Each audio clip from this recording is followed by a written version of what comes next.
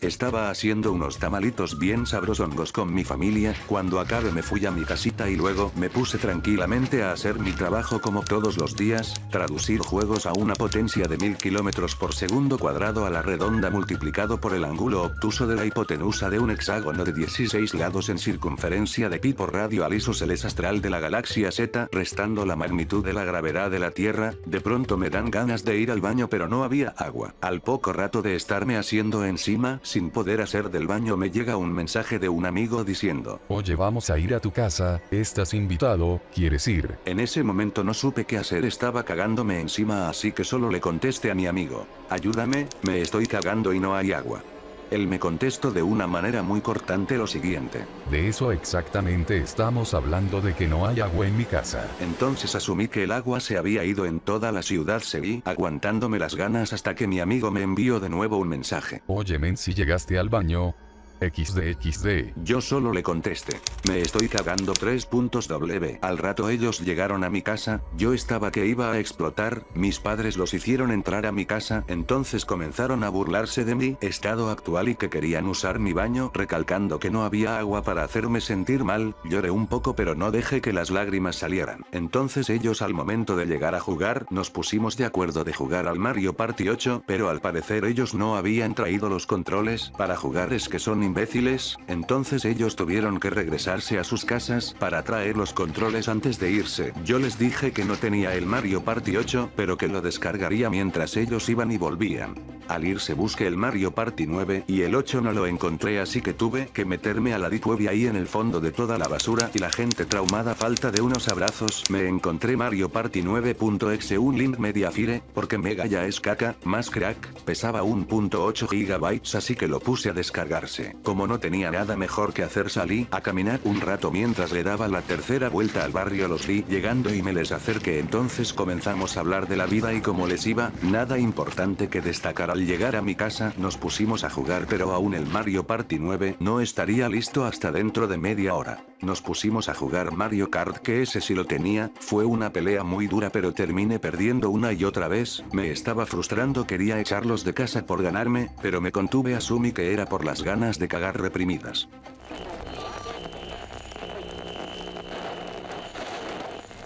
Nuestro amigo al que habíamos invadido sin previo aviso, fue al otro cuarto donde estaba la PC, mientras nosotros jugábamos Mario Kart hasta que dijo que ya tenía el juego y lo metió a su USB entonces lo puso en la consola esta, se congeló y vimos todos que la pantalla se puso rojo color sangre y se escuchaba una estática muy fuerte, entre esa estática se escuchaba una voz muy ligeramente diciendo, 666 soy el diablo y les voy a meter el pito jugando al Mario Party 9. Mi amigo comenzó a convulsionar en el suelo, golpeando su cabeza fuertemente hasta que lo agrietó, y se le comenzó a salir el cerebro por la oreja. Entonces los controles de la consola Wii comenzaron a parpadear entre todos los controles solo. Se encendían tres de los cuatro indicadores azules de mandos, pero estos parpadeaban en intervalos de 2, haciendo un esfuerzo mental muy grande deduje que 2 por 3 es igual a 6. En ese momento supe que el diablo iba en serio y que quería nuestra alma para atormentarnos en el infierno. Entonces el juego comenzó y su inicio era rojizo con un pentagrama y las caras de los personajes, oh Dios, eran horribles.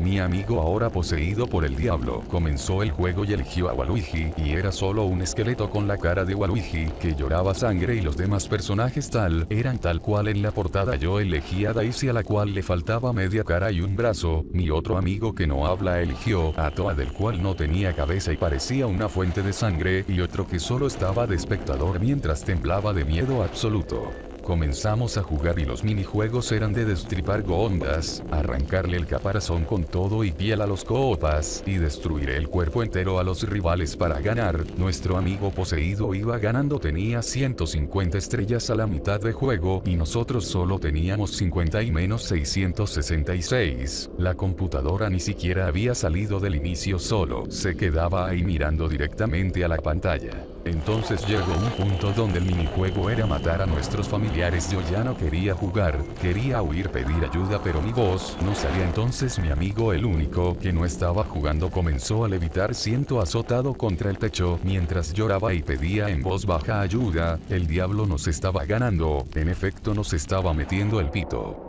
Como no quise matar a mi familia el diablo lo hizo y ganó más estrellas, y nosotros las perdimos todas no sabía qué hacer así que un intento desesperado golpeé a mi amigo en la cara con el control, y él comenzó a llorar agarrándose el área, donde le pegué y salió del cuarto en ese momento el juego volvió a la normalidad a ser bonito y colorido, mi amigo el que estaba levitando cayó y se rompió el cuello tan fuerte que su nuca tocó sus tobillos. Comencé a llorar desesperado viendo cómo mi amigo había muerto, mientras que el otro solo estaba callado, viendo la pantalla en ese momento mi amigo poseído, volvió y dijo con una voz de ultratumba. No debiste hacer eso maldito bastardo malnacido, ahora te meteré el pito más duro. Él con sus poderes del inframundo, me empujó contra la cama y levanto mis pies y incinero mis pantalones, entonces se sacó su gran miembro masculino y lo introdujo en mí comencé a gritar de dolor porque me ardía entonces mi amigo callado solo solo explotó, llenando la habitación de sangre mientras yo era violado por el mismísimo diablo. Continué la partida mientras era abusado, y en ese descuido del diablo gané la partida, dándole una vuelta entera él no se lo espero entonces un dinosaurio enorme entró rompiendo la pared diciendo, auxilio me desmayo cállese viejo lesbiano el dinosaurio empujó al diablo lejos de mí. El malévolo comenzó a gritar desesperado porque le había ganado entonces al intentar ponerme de pie de nuevo el dinosaurio me vio expuesto y comenzó a abusar de mí de igual manera, pero la diferencia era tanta que casi me rompe a la mitad, cuando sentía que mi interior iba a explotar llegó una pequeña alpaca de peluche, yo le imploré que acabara con mi sufrimiento. La alpaca ignoró mis plegarias y solo, cuando el dinosaurio me rellenó como un pavo de navidad la alpaca, me rompió el cuello pero no morí seguía sintiendo todo el dolor, el diablo enojado hizo pasar de moda al dinosaurio, haciendo que todos se olviden de él, el diablo tomó mi cuerpo y comenzó a arrojarlo contra las paredes, y se me lanzaba desde lo alto de la cama gritando. Anis Miss Honsin entonces me aplicó a la asesina, y me hundió en una piscina de sangre, y vi cesáreas entonces él tomó el cadáver de mi amigo con el cuello roto por la caída de la levitación y comenzó a golpearme con él, entonces me puso en cuatro y introdujo a mi amigo muerto por la fuerza en mi recto, haciendo estallar y por fin muriendo.